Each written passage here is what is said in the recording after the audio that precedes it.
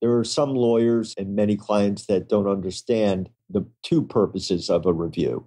One purpose is obviously if you can get some things changed in your franchise agreement, if you can get them modified, if you can get the rates down, the royalties down, the uh, exclusive territories, the personal guarantee. There are all types of things that you'd like not to have in the agreements. They're drafted by franchisors and they have provisions that demonstrate excessive control over the franchise relationship, and they're all pro franchisor. The real reason why you should get a review is you need to see how bad these provisions are relative to the others that are offered by other franchises. So if you've got a an exclusive territory that says it will be voided for any default and you've got other competing franchises that have an airtight exclusive territory, even though your franchisor that you're looking at will not change that provision, you still need to know what the effects of that provision could be, how you could lose your business because of it, and whether others are offering it or not.